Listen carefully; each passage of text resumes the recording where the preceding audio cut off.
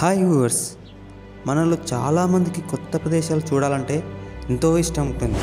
అయితే అలా చూడవలసిన ప్రదేశాలకు ఇప్పుడు అనుమతి లేదు. అయితే ఎందుకు అనుమతి లేదు? అసలు ఆ ప్రదేశాలేంటో ఇప్పుడు తెలుసుకుందాం.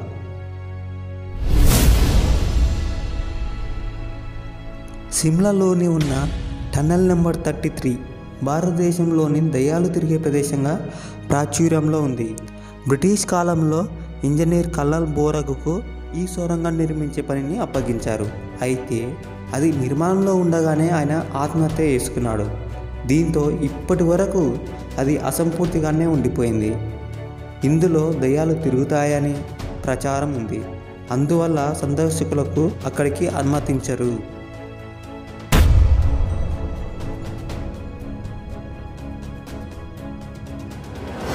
నార్త్ సెంటనల్ అండమాన్లోని సెంటనల్ తెగలకు చెందిన ప్రాంతాల్లో ఇది ఒకటి.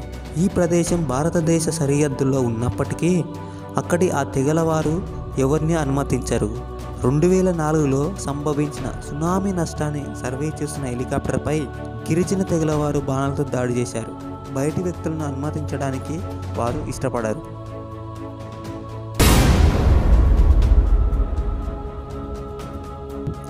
బీచ్లు అనగానే అందరికీ గుర్తొచ్చేది అందరూ కలిసి సముద్రం ఒడ్డున ఎంజాయ్ చేయాలని అనుకుంటారు. చేస్తారు కూడా. అయితే గోవా పుదేచ్చేరిలో చాలా బీచ్లు ఉన్నాయి. వాటిలో కొన్నిటికి ప్రత్యేకంగా విదేశీయులకే అనుమతి ఉంటుంది. గతంలో జరిగిన పలు ఘటనల నేపథ్యంలో ఆ ప్రాంతాల యజమానులు భారతీయులను అనుమతించట్లేదు. అలాంటి బీచ్లో గోవాలోని అరంబుల్ ఒకటి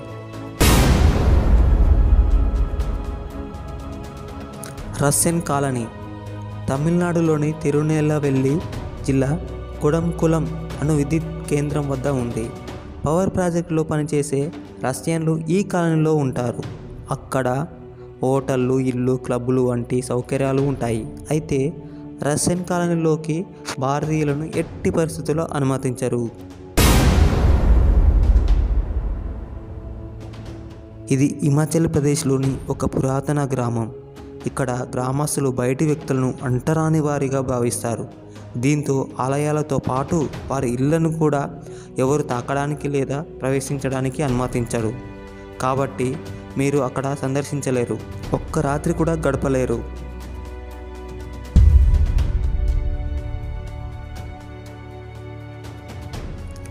పశ్చిమ బెంగాల్లోని డెహిల్ రోడ్ ఫారెస్ట్ ఆఫీస్ మధ్య డెత్ రోడ్డు ఉంటుంది. ఈ ప్రాంతంలో తలలేని యువకుడు తిరుగుతుంటాడని చాలామంది చూసినట్లు చెబుతారు. అలాగే ఇతర అనుమానాస్పద సంఘటనలు కూడా జరిగాయని ప్రచారంలో ఉంది. ఇక్కడికి వచ్చిన చాలామంది మానసిక సమస్యలతో బాధపడుతున్నట్లు చెప్తుంటారు. అందుకే ఈ ప్రదేశానికి సందర్శకులను అనుమతించరు.